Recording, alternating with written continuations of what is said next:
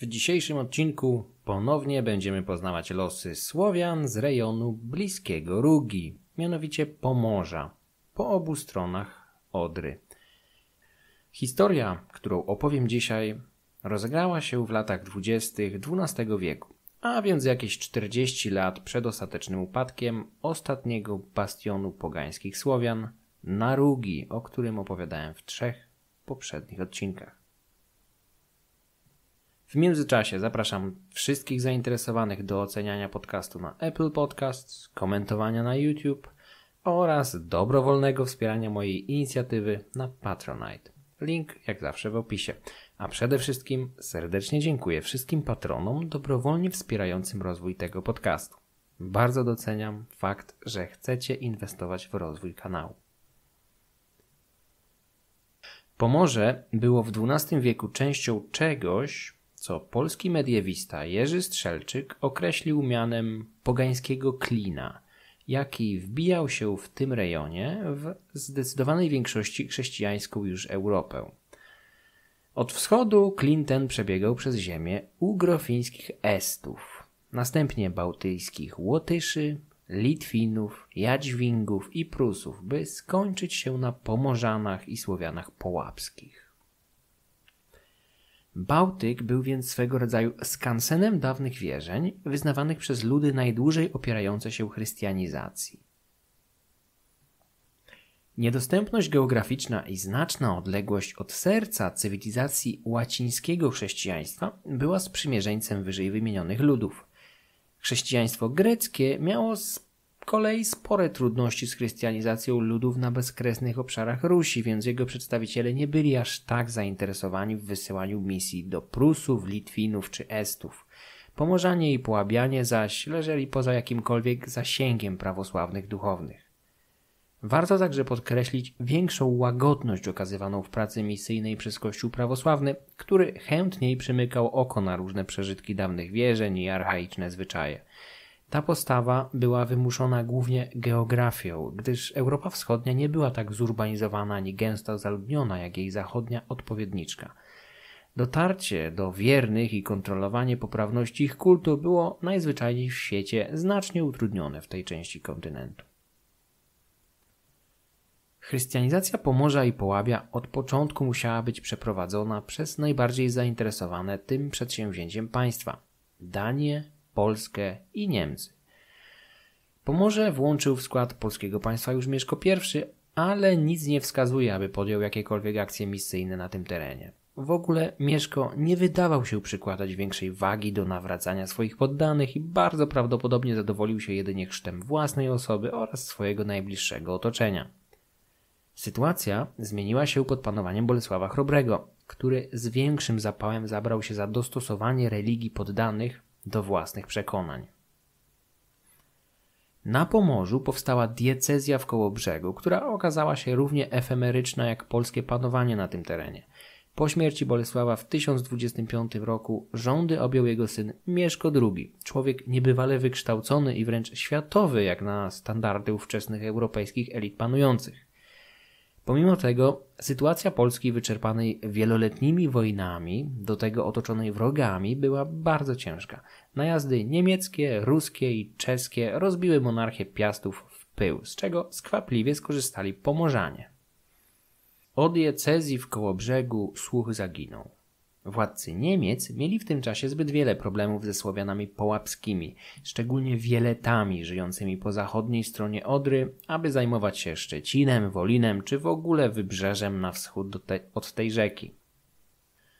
Królowie Danii z kolei byli bardziej zainteresowani wojnami w dalekiej Anglii czy Norwegii, co finalnie bardziej się im opłaciło, zwłaszcza jeżeli uwzględnimy piorunującą karierę Kanuta, zwanego Wielkim, władcy Morza Północnego, w pewnym momencie sprawującego rządy w Danii, Anglii i Norwegii jednocześnie.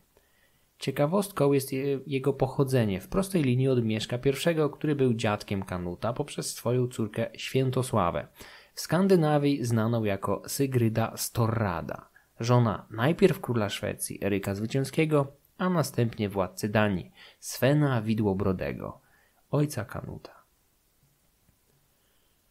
Podbój Pomorza był w dalszej perspektywie celem każdego z wyżej wymienionych trzech państw. Ale najszybsi mieli się okazać Polacy pod rządami Bolesława Krzywoustego. Władcy, który wzgardził rybami słonymi i cuchnącymi na korzyść tych pluskających w oceanie, jak w dawnej średniowiecznej pieśni wojów określano Bałtyk. Słynna pieśń sławiąca władcę, który zdobył Kołobrzeg, a przez to dostęp do morza, doczekała się kilku bliższych naszym czasem coverów w wykonaniu Czesława Niemena czy ostatnio Marka Piekarczyka. Część Pomorza Bolesław wcielił bezpośrednio do Polski, ale jego zachodnie rejony zdołał jedynie zwasalizować. Pomorze Zachodnie było wtedy na etapie kształtowania własnej, wczesnej państwowości, przyspieszonej przez wysoką świadomość odrębności, silną urbanizację i dość dużą gęstość zaludnienia. Zagrożenie ze strony Polski tylko przyspieszało konsolidację państwa rządzonego przez księcia Warcisława, który jednak w bezpośrednim starciu musiał uznać wyższość krzywoustego. W latach 1119-1121 wszystkie istotne grody na Pomorzu Zachodnim zajęli Polacy – lecz ich książę nie mógł wcielić zdobytych obszarów bezpośrednio do swojego kraju, prawdopodobnie nie mając wystarczających środków na długotrwałą okupację i łamanie tendencji odśrodkowych na tak sporym obszarze. Warcisław pozostał na swoim tronie w charakterze wasala Polaków. Krzywousty, tak jak wielu władców przed i po nim, wykorzystywał chrześcijaństwo jako narzędzie w konsolidacji państwa. Stąd pragnął jak najszybciej przeprowadzić ten proces także na świeżo zdobytym Pomorzu Zachodnim.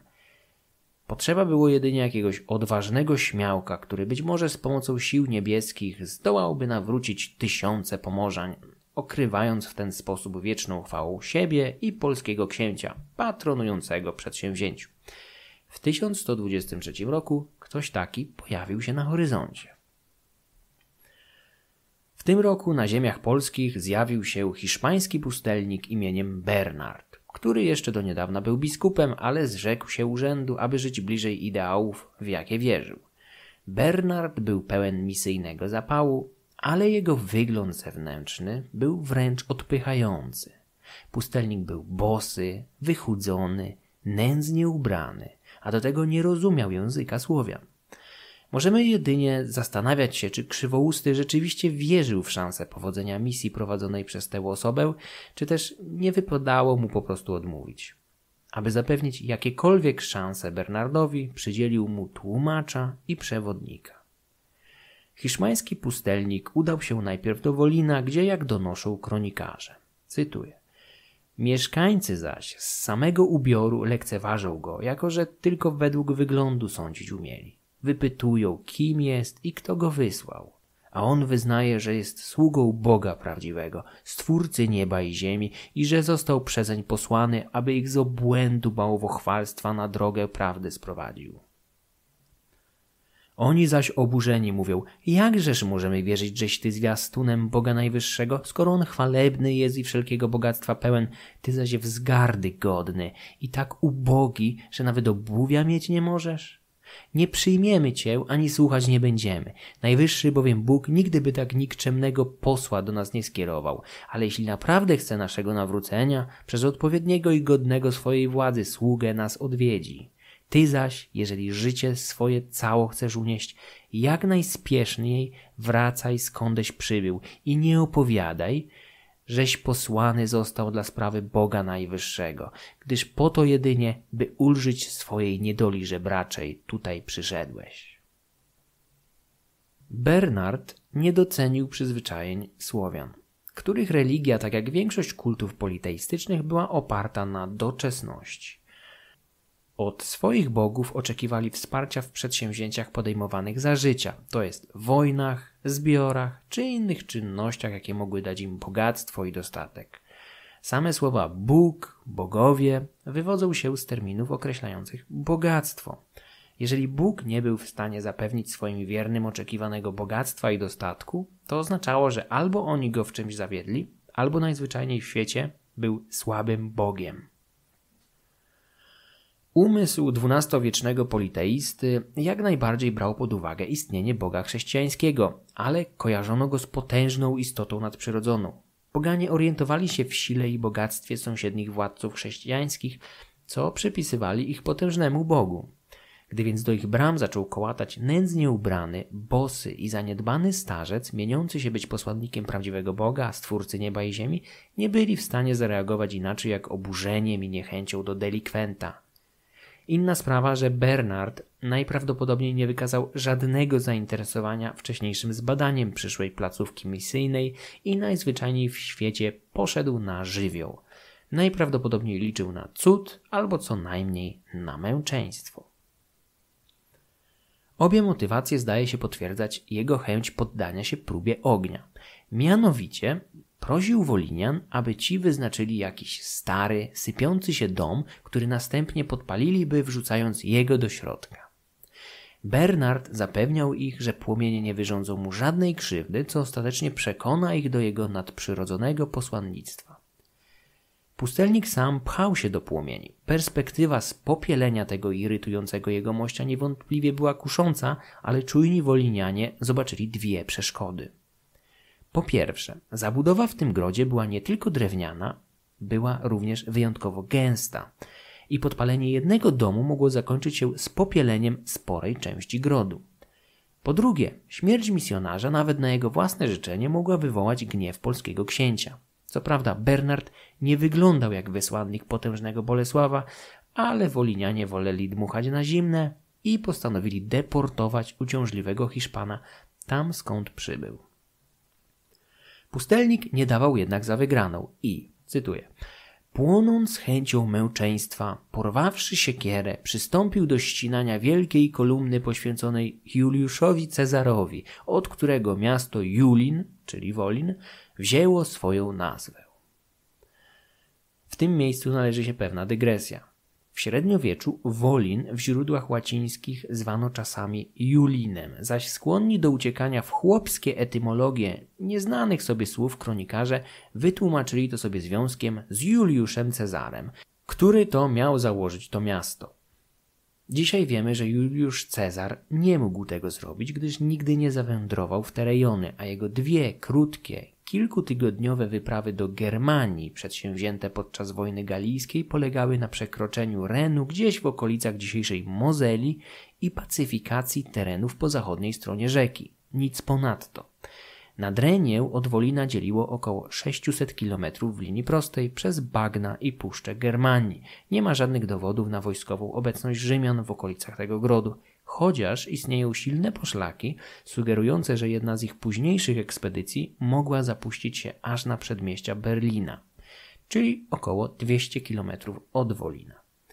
Tak czy inaczej, to było ponad tysiąc lat wcześniej i nie ma żadnego związku pomiędzy obecnością Rzymian w Germanii a domniemanym kultem Juliusza Cezara w Wolinie. Wróćmy jednak do Bernarda, który właśnie zamierza się na jakąś kultową kolumnę bądź słup poświęcony miejscowym bogom. Świętokradczy gest pustelnika rozwścieczył mieszkańców, którzy dotkliwie go pobili, jednak nie pozbawili go życia. Gdy ten wrócił i znowu zaczął głosić swoje kazania, tutaj cytuję, Kapłani siłą odciągnęli go spośród ludu i wraz z kapelanem i tłumaczem wsadzili na statek, mówiąc: Skoro tak wielką pałasz chęcią głoszenia kazań, głoś je rybom morskim i ptakom niebieskim. Strzeż się, byś nie ważył się przekroczyć naszych granic, gdyż nie znajdzie się ani jeden, który by cię przyjął. Misja Bernarda skończyła się kompletną porażką, a on sam powrócił do krzywoustego, którego pewnie nie zaskoczyło fiasko całego przedsięwzięcia. O przebiegu i wyniku misji wiemy dzięki Ebonowi z Michelsbergu, jednemu z trzech biografów kolejnego misjonarza Pomorzan, świętego Ottona z Bambergu. Bolesław Krzywousty postanowił lepiej przygotować kolejną wyprawę, w czym pomogła mu szczegółowa relacja Bernarda lub osób z jego otoczenia polskim duchowieństwie nie było chętnych do podjęcia się tego przedsięwzięcia, więc książę musiał zgłosić się o pomoc do Ottona, biskupa bawarskiego Bambergu, znanego i szanowanego duchownego, człowieka w bardzo podeszłym jak na tamte czasy wieku. Był bowiem po sześćdziesiątce. Otton przebywał w przeszłości przez dłuższy czas w Polsce, więc znał w pewnym stopniu język tego kraju. W 1124 roku podjął wyprawę misyjną na Pomorze, tak jak rok wcześniej zrobił to Bernard, z tym, że biskup z Bambergu ruszył z liczną świtą, przybrany w bogate szaty, aby onieśmielić potencjalnych konwertytów. Cała akcja misyjna odbywała się pod patronatem pomorskiego księcia Warcisława. Tuż po przekroczeniu granicy księstwa pomorskiego książę osobiście wyjechał na spotkanie biskupa i zaprowadził go do swojej siedziby. Pierwszy sukces misjonarz odniósł już na dworze księcia, który uroczyście przysięgając na relikwie w obecności poddanych obiecał odprawić wszystkie 24 konkubiny, jakie posiadał i pozostać przy swojej żonie. Pomorzanie nie mieli dotychczas problemów z akceptacją poligami i posiadanie przez zamożniejszych mężczyzn kochanek oraz utrzymanek nie spotykało się z krytyką. Część z nich postanowiła jednak pójść za przykładem swojego władcy i również zobowiązała się do rezygnacji z uciech cielesnych, za wyjątkiem tych, jakim oddawali się z żonami.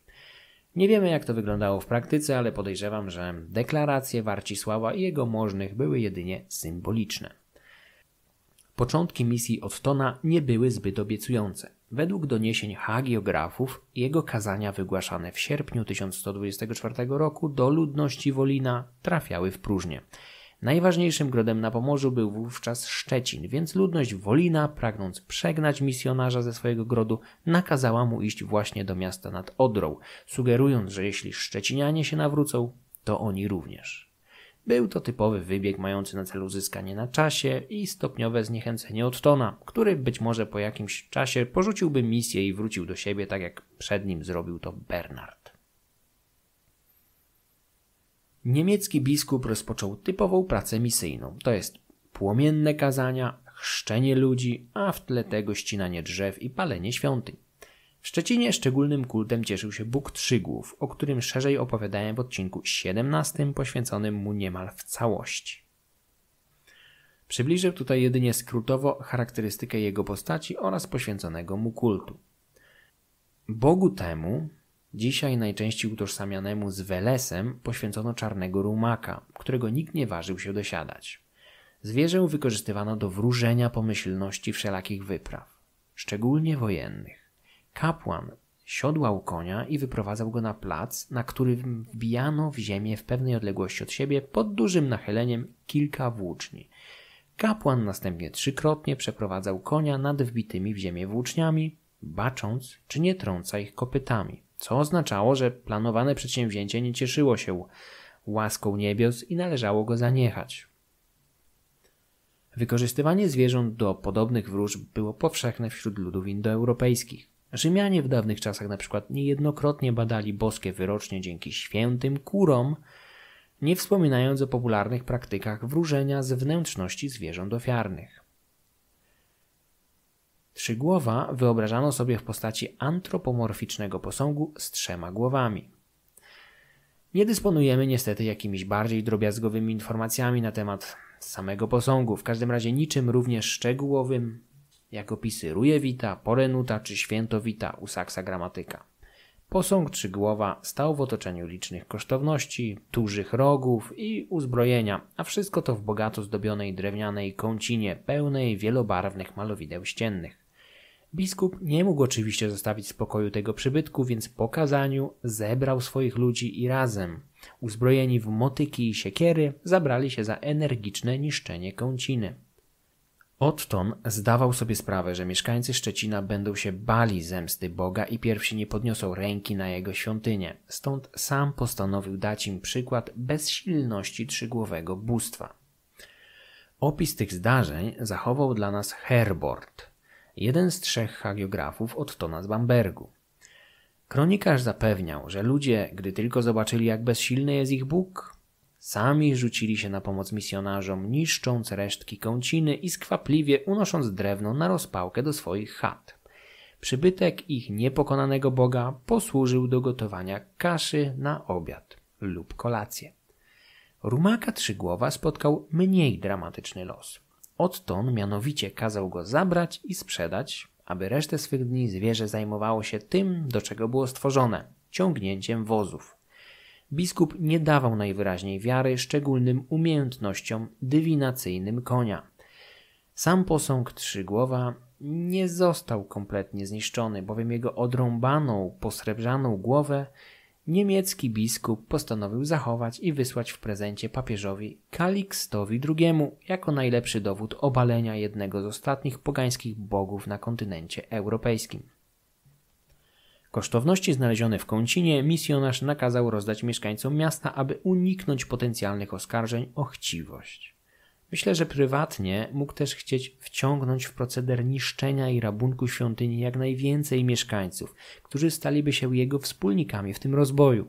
W efekcie tym bardziej związałoby to ich znowu wiarą, bo jak tu wrócić do kultu starych bogów, jeżeli własnoręcznie zniszczyło się im świątynię, z jej belek zrobiło się ognisko do gotowania kaszy, a złoto i biżuterię schowało się we własnej chacie. Otton wprowadził nowe porządki, które oznaczały nie tylko zakaz kultu starych bogów, ale także istotne zmiany w pewnych aspektach funkcjonowania społeczeństwa.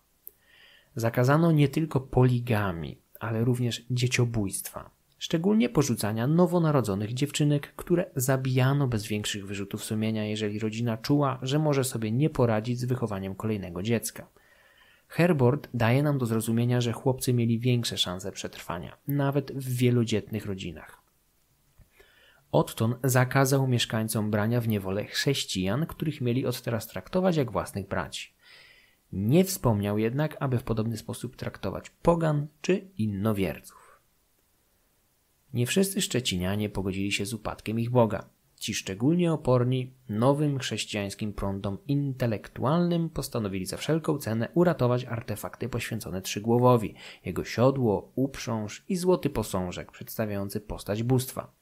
Przedmioty ukryto na prowincji pod pieczą jakiejś wdowy szczerze oddanej tradycyjnemu kultowi. Otton dowiedział się o tym i zorganizował potajemne poszukiwania, zakończone sukcesem. Jeden z jego ludzi, znający język miejscowych, zdołał w jakiś sposób przekonać ich, że jest poganinem z Połabia i przybył tutaj, aby pokłonić się Trzygłowowi. Był na tyle przekonujący, że ktoś wskazał mu gospodarstwo wdowy, skąd, korzystając z jej nieuwagi, udało mu się ukraść siodło Boga. Podobno tak stare i zniszczone, że miało wartość jedynie sentymentalną. Otton przedstawił zdobycz miejscowej starszyźnie i zażądał przyniesienia posągu. Postawieni pod ścianą Szczecinianie zgodzili się i dostarczyli złoty artefakt misjonarzowi. Ten nakazał go przetopić, a uzyskane środki wydać na wykupienie z niewoli chrześcijańskich niewolników. Pierwsza misja Ottona zakończyła się niewątpliwym sukcesem, do którego przyczyniły się pośrednio groźby i obietnice Bolesława Krzywoustego. Polski książę groził opornym Pomorzanom nową wyprawą zbrojną w przypadku, gdyby źle przyjęli bawarskiego biskupa, jednocześnie obiecując im zmniejszenie danin, gdyby posłusznie przyjęli nową wiarę. Warto również zauważyć, że część Pomorzan była już chrześcijanami szczególnie ich elity reprezentowane przez księcia Warcisława, który zrzekł się wszystkich konkubin, aby żyć zgodnie z naukami, do których był już wcześniej zobowiązany. Wszystko to niewątpliwie pomogło w konwersji Pomorzan. Trudno więc mówić tu o jakimś cudownym nawróceniu. Powodzenie w najważniejszym mieście regionu ułatwiło biskupowi pracę w kolejnych osadach, takich jak Wolin, Gardziec czy Lubin. Ostatnimi miastami odwiedzonymi przez misjonarzy były Kamień, Kłodno oraz Kołobrzeg. W tym ostatnim mieście, w nurtach rzeki Parsęty, utonął jeden z niemieckich diakonów towarzyszących Ottonowi. Jak się okazało, był jedyną śmiertelną ofiarą spośród świty misjonarza. Wyprawa biskupa zakończyła się w lutym 1125 roku. Jak wówczas uznawano, pełnym sukcesem, więc Otton powrócił do Bambergu przez Gniezno i Czechy, wszędzie witany jak bohater. Źródła utrzymują, że podczas swojej pierwszej misji ochrzcił 20 tysięcy pomorzan i zbudował kościoły w dziewięciu miejscowościach. Prawdopodobnie były to małe, prowizoryczne, drewniane kościółki, niewiele większe lub wręcz porównywalne ze zburzonymi kącinami, na których miejscu stawały. Wspomniałem, że właśnie zakończona misja Ottona była jego pierwszą. Dokładnie, jak się bowiem wkrótce miało okazać, efekty chrystianizacji były jedynie powierzchowne, a pogaństwo szybko podniosło głowę.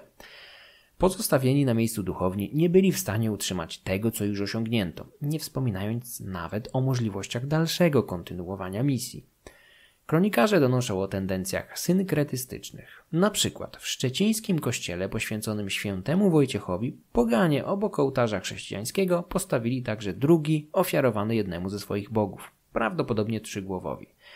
Politeiści nie mieli problemu z zaakceptowaniem chrześcijaństwa, o ile pozwalano im jednocześnie czcić inne bóstwa. W 1128 roku Otton ponownie wyruszył na Pomorze odzyskać to, co stracono w ostatnich latach oraz nawracać kolejne miejscowości. W ciągu kilku lat książę Warcisław zdołał zająć rozległe ziemie na zachodnim brzegu Odry, na terenie dzisiejszych Niemiec. Pomogła mu w tym śmierć tamtejszego księcia i chaos w państwie obodrzyckim. Dzięki temu ambitny książę zdołał przejąć ziemie zamieszkane głównie przez pogańskich wieletów i jawnie wrogich chrześcijaństwu. Poprzednia wyprawa Ottona ograniczyła się jedynie do wschodniego wybrzeża Odry, do Kołobrzegu. Natomiast terenem nowej miało być również zachodnie wybrzeże, aż do rzeki Piany. Na tym terenie Otton spotka się z kultem Jarowita, tytułowego bohatera dzisiejszego odcinka.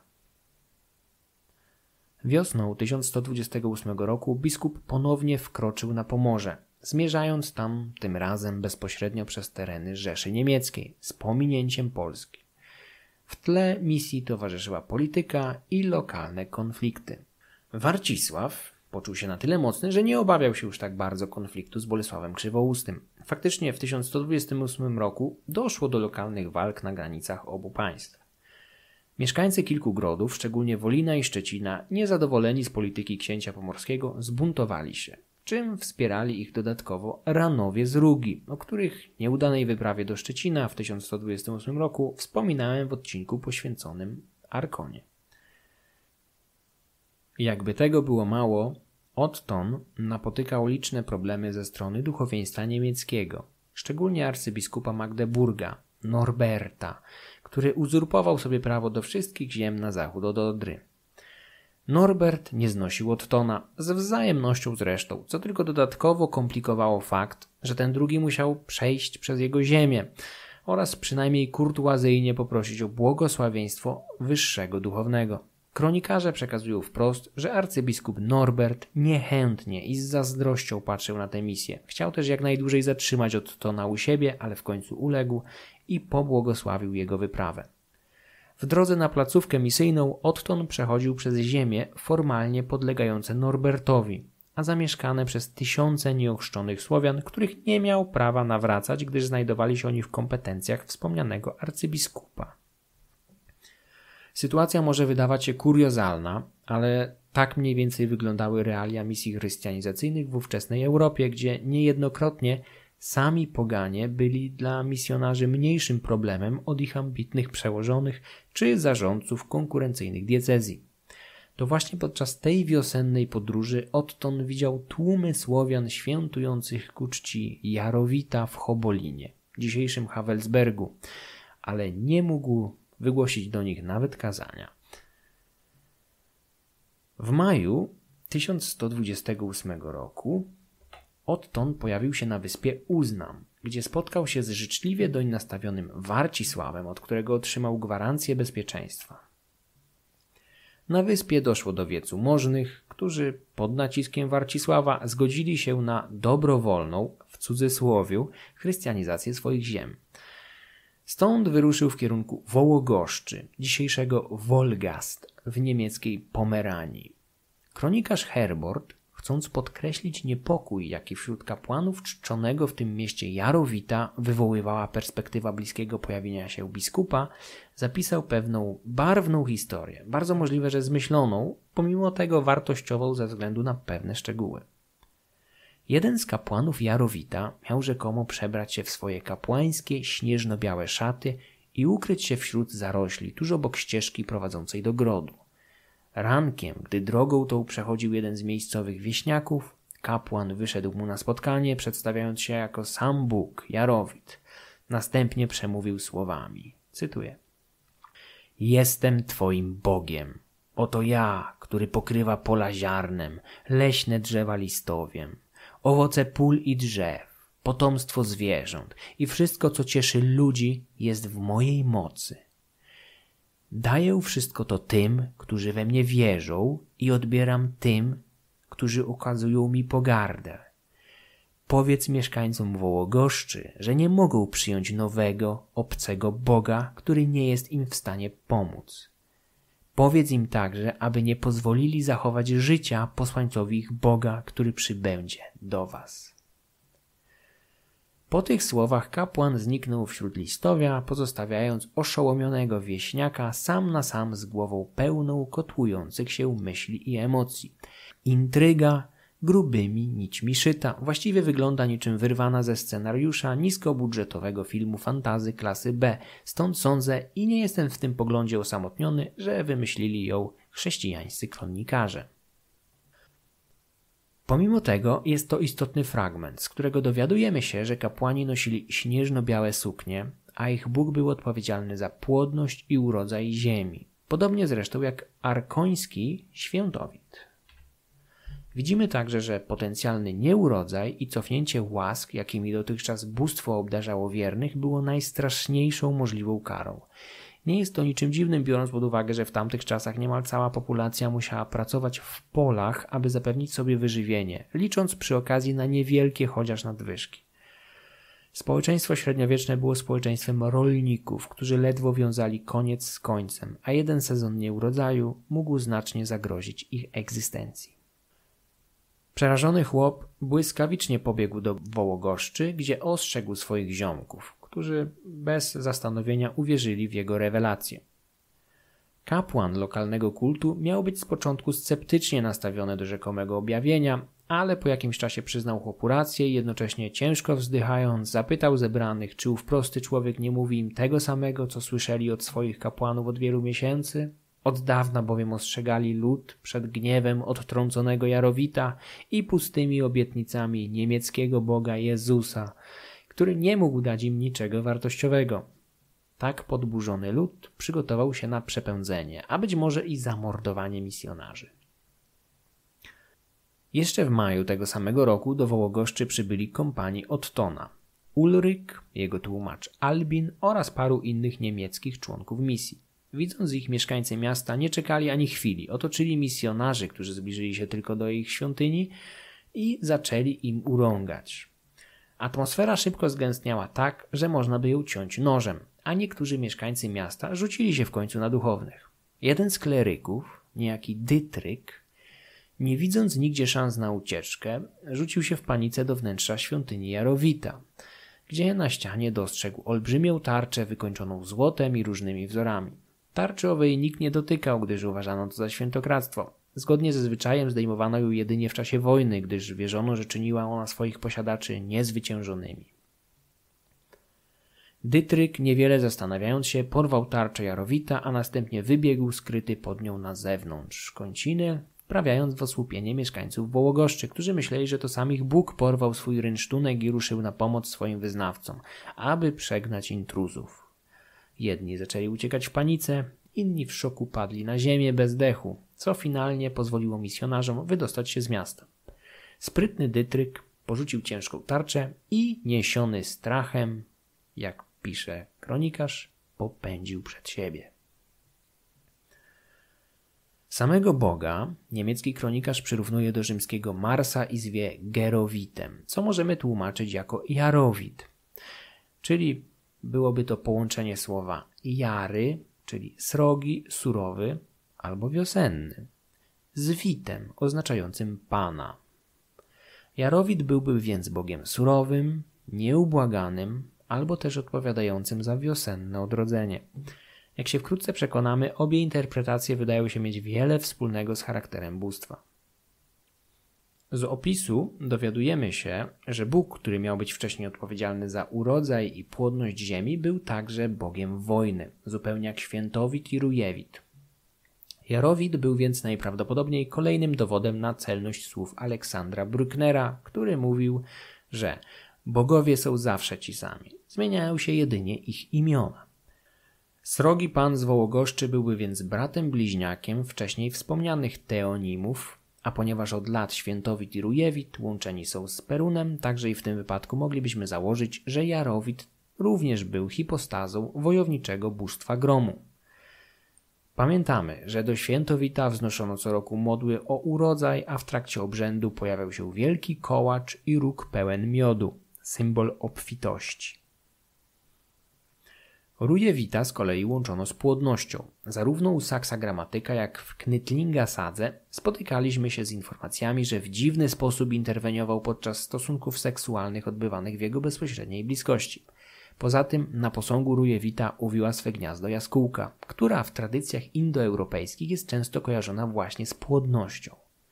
Pamiętamy, że saksogramatyk niewybrednie żartował z posągu Boga zabrudzonego ptasimi odchodami, najprawdopodobniej nie rozumiejąc związku pomiędzy tym ptakiem a cechami Boga o siedmiu twarzach. Niestety w przypadku Jarowita nie dysponujemy żadnymi szczegółowymi informacjami o wyglądzie jego posągu ani świątyni. Zaledwie miesiąc później, w czerwcu, odtąd ze swoją świtą pojawił się w leżącym nad rzeką Pianą mieście Hozegow, które dzisiaj znamy pod nazwą Gützkow. W tym grodzie nie doszło do równie barwnych scen jak w Wołogoszczy, ale Ebon z Michelsbergu informuje nas, że mieszkańcy starali się przekupić Ottona i jego świtę, aby nie palił ich świątyni. Przybytek jakiegoś anonimowego boga, być może też Jarowita, nie jesteśmy tego pewni, był powodem do dumy mieszkańców, którzy sfinansowali go olbrzymią kwotą 300 talentów. Świątynia ich bóstwa była rzekomo tak piękna, że mieszkańcy chcieli za wszelką cenę zachować ją przed ogniem. Oferowali ją nawet jako kościół dla chrześcijańskiego Boga, ale Otton był nieugięty. Jego zdaniem nie godziło się wykorzystywać przybytku, który służył demonowi, jako domu jedynego prawdziwego Boga. Ebon z radosnym uniesieniem zanotował, jak niszczono posąg Boga z Gycków. Cytuję. I był to niewątpliwie radosny spektakl gdy widziano te wielkie figury wrzeźbione z niewiarygodnym kunsztem, które para wołów ledwo była w stanie poruszyć, pozbawione dłoni i stóp, z wydłubanymi oczami, ciągnięte pod most celem spalenia. Twórcy rzeźb byli przy tym obecni i głośno zawodzili do swoich bogów, prosząc ich o pomoc i karę dla zdrajców ojczyzny. Inni, rozsądniejsi, mówili, że jeżeli to byli prawdziwi bogowie, to powinni być sami w stanie się obronić. Ale skoro milczeli i w ogóle nie ruszyli się z miejsca za wyjątkiem chwili, gdy ciągnięto ich po ziemi, było oczywistością, że pozbawieni byli czucia i duszy jak istoty żywe. Kapłani tymczasem, zgodnie ze swym powołaniem, starali się wzniecić powstanie. Zniszczenie świątyni nie obyło się bez cudownych znaków, którymi raczy nas obficie Ebon – z palonego budynku miały wylecieć stada wielkich czarnych much, w liczbie tak wielkiej, że zakryły słońce.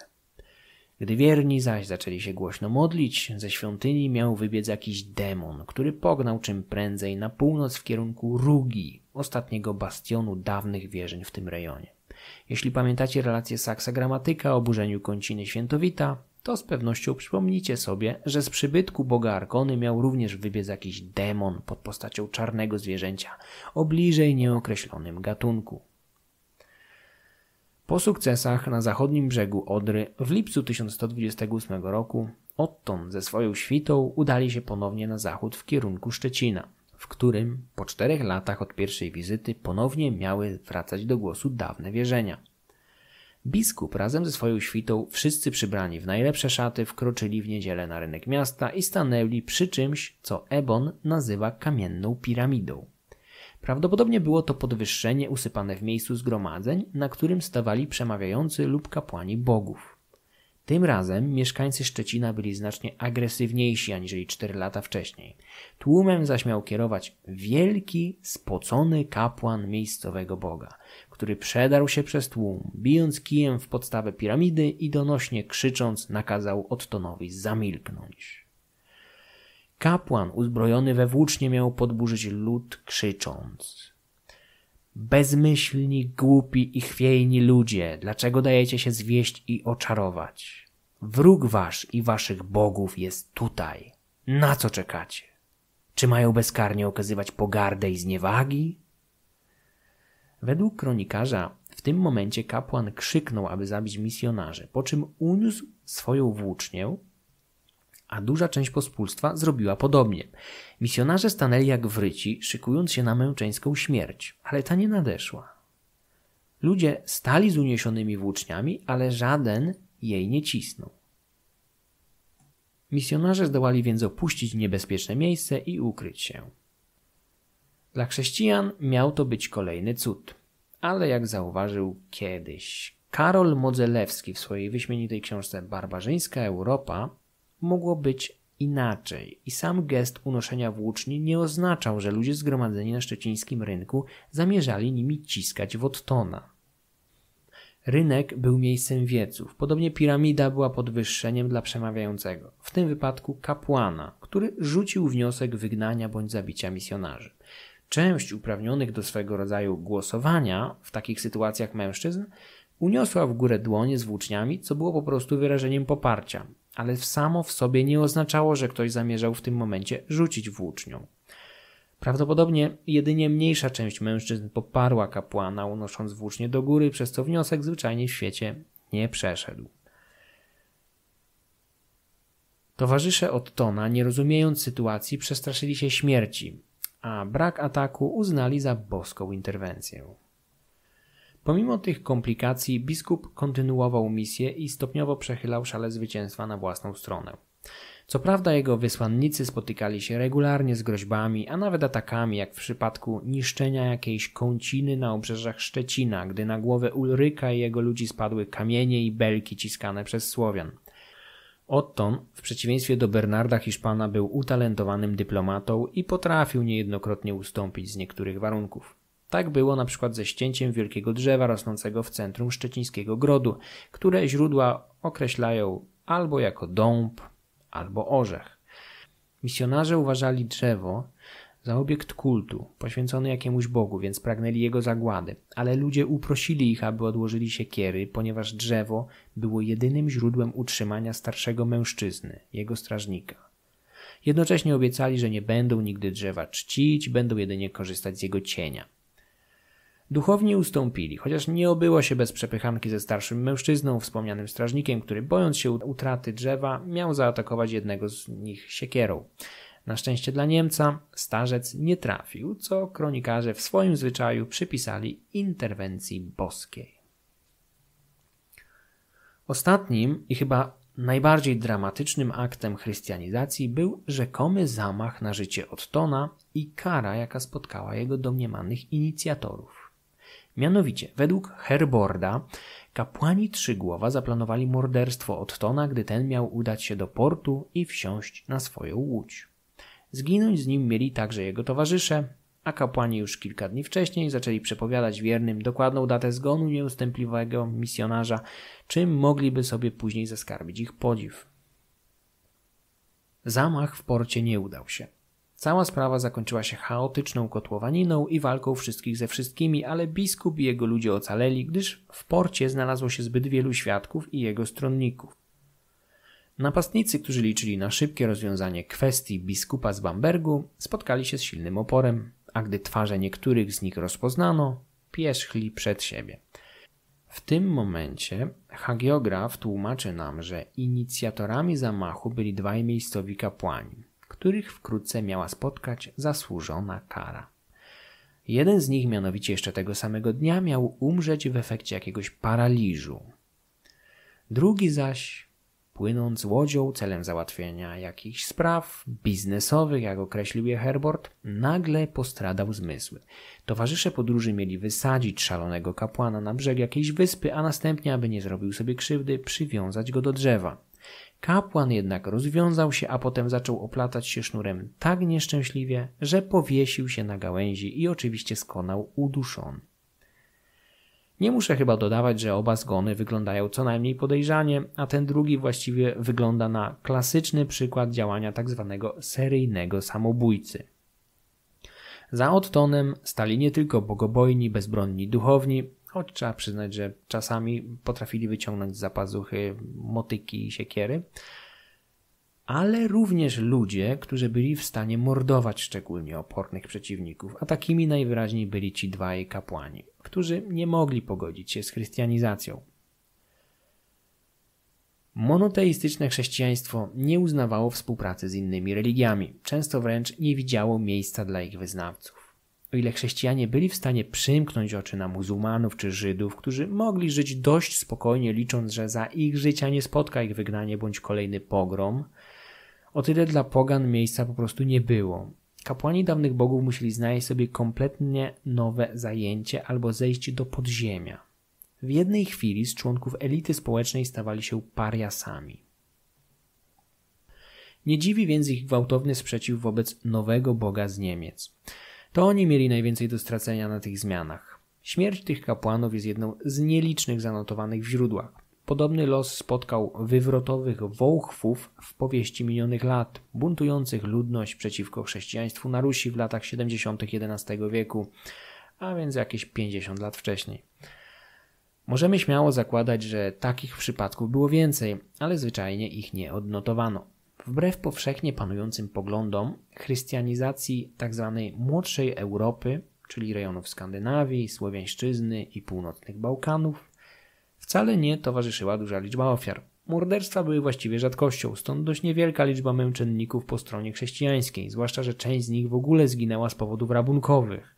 Tak było na przykład w przypadku pięciu braci polskich zamordowanych w 1003 roku, których uznano oficjalnie za męczenników za wiarę, podczas gdy ich mordercami byli inni chrześcijanie, a cała zbrodnia miała charakter rabunkowy.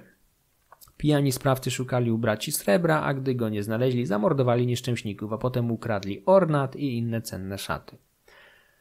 Podobnie chrześcijańscy władcy rzadko musieli uciekać się do metod siłowych, nie mówiąc już o eksterminacji całych populacji. Co prawda, Karol Wielki nawracał żelaznym językiem, ale śmierć spotykała wtedy raczej oporne i szczególnie niebezpieczne jednostki, takie jak dwaj kapłani ze Szczecina, a nie całe populacje.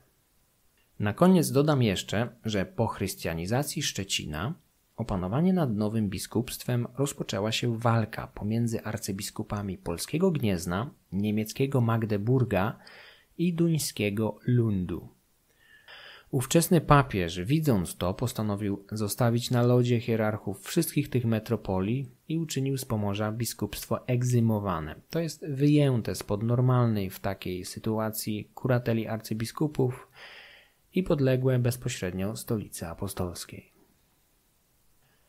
Chciałem z całego serca podziękować wszystkim patronom tego podcastu, dzięki którym powstaje więcej dłuższych odcinków, szczególnie zaś patronom w randze Peruna i Welesa, Adzie, Agnieszce, Maciejowi, Pawłowi i Rafałowi. Słuchacze mogą dobrowolnie wspierać ten podcast poprzez Patronite. Link jak zawsze w opisie odcinka. Za wsparcie w każdej wysokości jeszcze raz dziękuję przygotowaniu odcinka szczególnie pomocne były następujące książki. Apostołowie Europy Jerzy Strzelczyk. Wykorzystano także fragmenty kronik Herborda, Ebona i anonimowego mnicha z Pryfening.